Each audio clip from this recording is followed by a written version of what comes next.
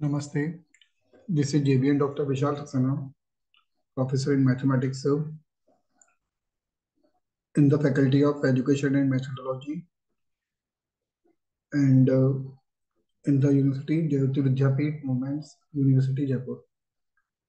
So today I'm going to take a lecture on the geometric progression. This module is a part of the course uh, Business Mathematics uh, and under the program of uh, Um, business mathematics uh, under the course of business mathematics uh, and this uh, course is a part of the program uh, BBA and BBA LLB second semester. So geometric progression and uh, like arithmetic progression, harmonic progressions are the part of the mathematics and these are the sequences, progressions and a very these are the very important parts of mathematics because uh, in certain kind of sequences, we have to see what, uh, how can we find the successive terms uh, and uh, the nth term, the sum of the sequence for infinite terms for the uh, a finite number of terms. So this geometric progression is a, again a very important part uh, and it is different from the arithmetic progression. So how can we define it? What is the geometric progression? First, we have to understand this. Uh, the geometric under uh, geometric progression means uh, this is a sequence of numbers uh, in which each uh, successive term is the multiple of its preceding term and a fixed number or a fixed time means uh, uh, the sequence where the terms are like terms are arranged in that order that uh, the next term is uh, the is a particular multiple of its preceding term or it's the last term. And uh, this uh, multiple should be a fixed value fixed number. And that is uh, like here we can see uh, this is here for example we can see that this one series is 3 9 27 81 and so on so in this way, the sequencer 3, 9, 27, 81, uh, when we observe the sequencer, this progression, then uh, we see that uh, there is a uh, there is a particular kind of relation between the successive terms.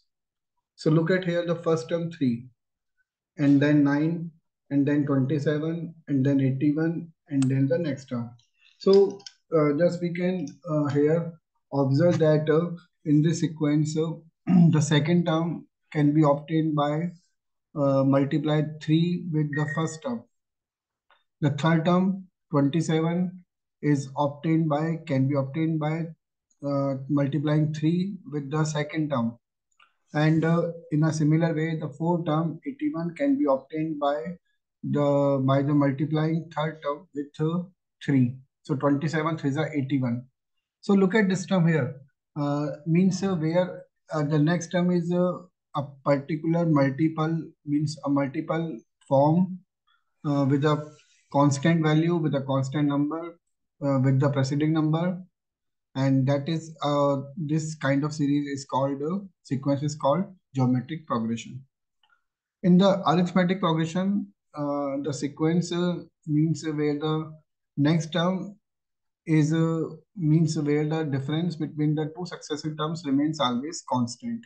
Then it is called arithmetic progression. Geometric progression means we can also define in the in a different way means uh, where the ratio of the successive terms uh, okay that is uh, that remains always constant so second upon first term means 9 upon 3 is 3 Third term by second term is 27 by 9, that is 3. The fourth term by third term, 81 by 27 is 3. So you can see there the, the, the ratio for the two consecutive terms, two successive terms remains always constant. And this kind of sequence is called the geometric progression. Now, uh, in this way, we can see in this sequence, the first term is 3, second term is 9, third term is 27, and fourth term is 81. So that is called the geometric progression. Now, uh, in this sequence, uh, what will be the next term? the next term can be obtained by can be obtained by multiplying 81 with 3 because 3 is uh, the that multiple that is a constant value by which uh, the uh, next term is obtained with the multiplying the previous term. So if we multiply 81 by 3, then we will obtain 243. And uh, in this way, uh, this kind of sequence, uh, this kind of progression can be obtained. So here, uh, just uh, um, like one more example, we can take uh, 1, 4, 16, 64. So we can see this one again here. The first term is 1, the second term is 4. So if you uh, take in this way, like second by first term, so 4 by 1, the third by the second term, 16 by 4. Again, we will get here, it is 4. Then fourth term by third term, 64 upon 16, that is again coming 4. And in this way, all the terms are, all the ratios are becoming 4. And these, uh, all these ratios are equal, these are same, and these are like 4. So in this way, this kind of series is again a geometric progression. So 1, 4, 16, 64. And in this way, this sequence is again an example of the geometric progression.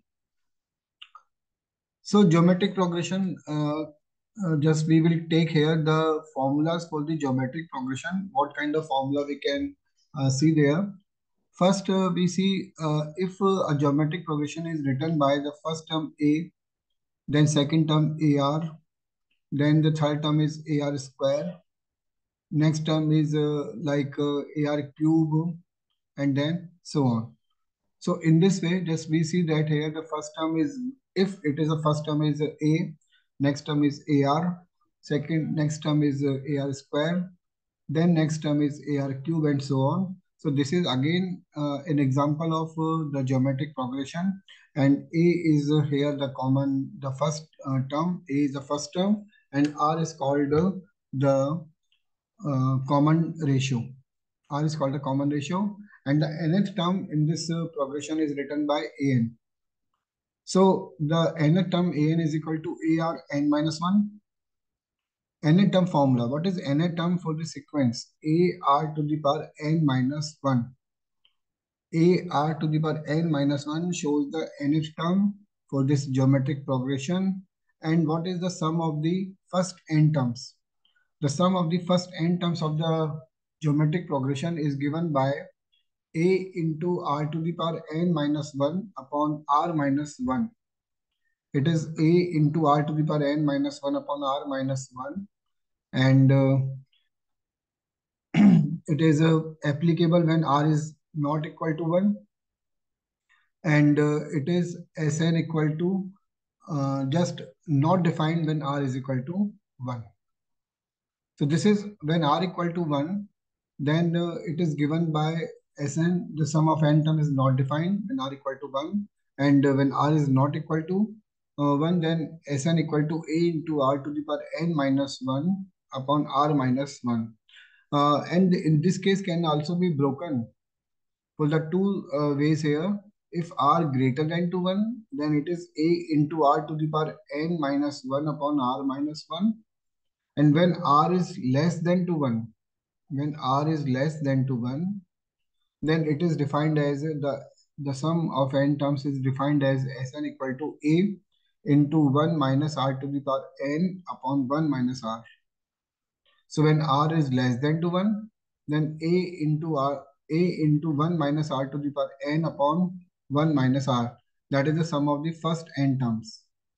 And when r, r is greater than to 1, then a into r to the power n minus 1 upon r minus 1 in a geometric progression, if one condition is there, if the common ratio R is less than to 1 in modulus form, means R is lying between minus 1 and plus 1. If R lies between minus 1 and plus 1, uh, then the, the sum of infinite terms of a geometric progression, the sum of the infinite terms of a geometric progression is given by A upon 1 minus r. a by 1 minus r. That is called the sum of the infinite terms of the geometric series a upon 1 minus r. So in this way, Uh, but this uh, sum of infinite terms is applicable only when modulus r is less than to 1 and uh, it means uh, when r is lying between minus 1 and plus 1 then infinite terms sum can be calculated and it is given by a upon 1 minus r. For the finite number of terms the sum is given by a into r to the power n minus 1 upon r minus 1 or a into 1 minus r to the power n upon 1 minus r. So these are the formulas for the nth term of the geometric sequence, uh, geometric progression and uh, the sum of n terms, first n terms of the geometric progression. Uh, one important thing that uh, the S infinity diverges when R is greater than or equal to 1 in modulus. So means uh, when modulus R is greater than or equal to 1, then this uh, series diverges and uh, the sum cannot be calculated. So it is not given by a finite uh, formula. It is, cannot be uh, defined by a certain formula. So ultimately, uh, the sum of infinite terms can is applicable just the for the case when modulus r is less than to 1. Now we take one example. This example is just uh, for the nth term. We have seen the formula for the nth term. So look at this one. What is the 10th term of the sequence 1, 3, 9, 27 and so on? 1, 3, 9, 27 and so on. So in this question, the first term is given by 1. The second term is 3 means multiple of uh, first term with 3. The third term is uh, 9. Again, 9 is obtained by 3 into 3, second term into 3. 27 is obtained by 9 into 3 again. So 3 is a common uh, ratio there. And uh, this series is again a geometric progression.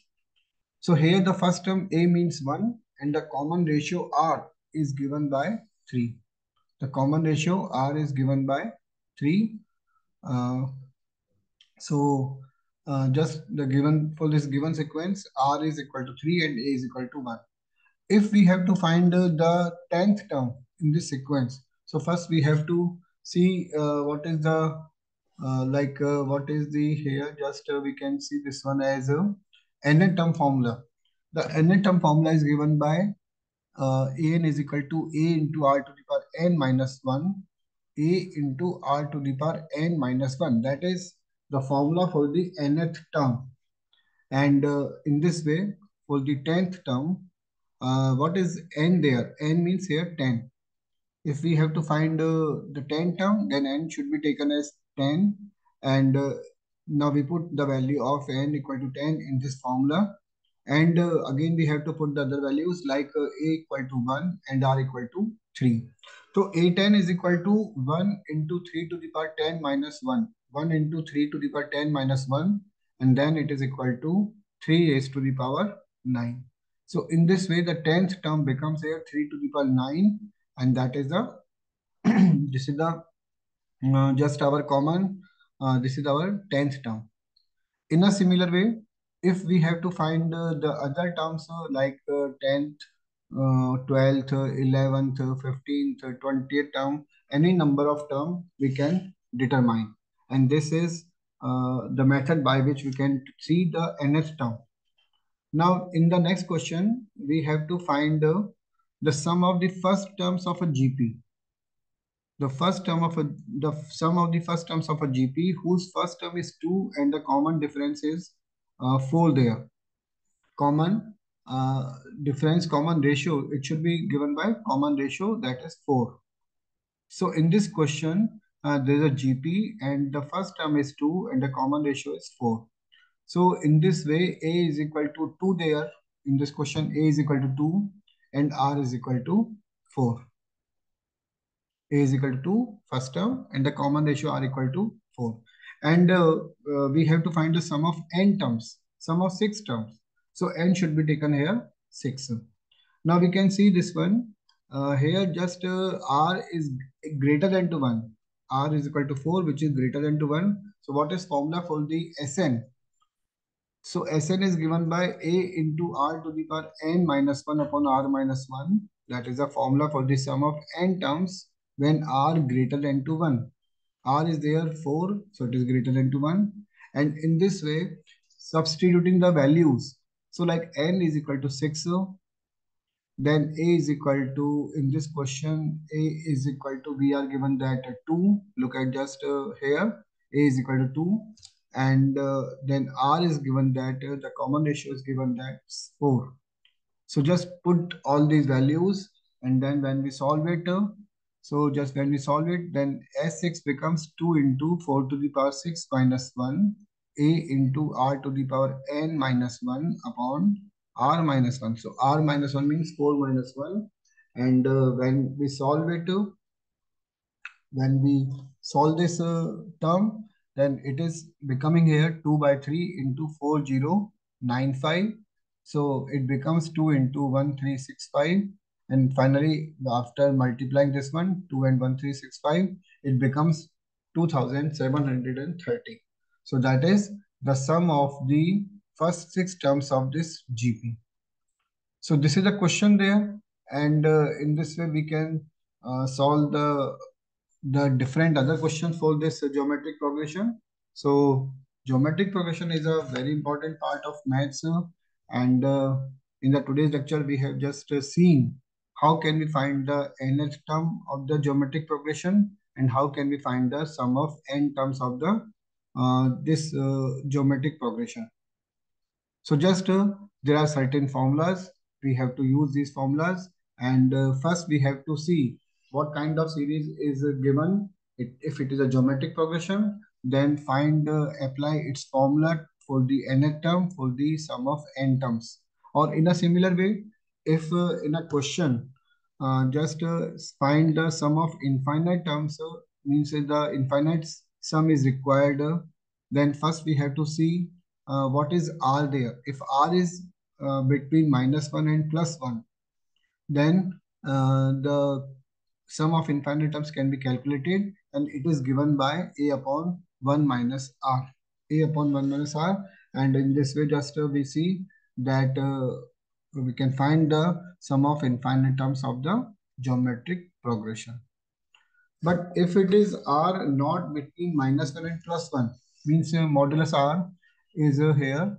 Modulus r is greater than to 1 there, then uh, the see the sequence uh, diverges and uh, the sum of infinite terms cannot be calculated. So this is the part of the geometric progression and this is a very important part.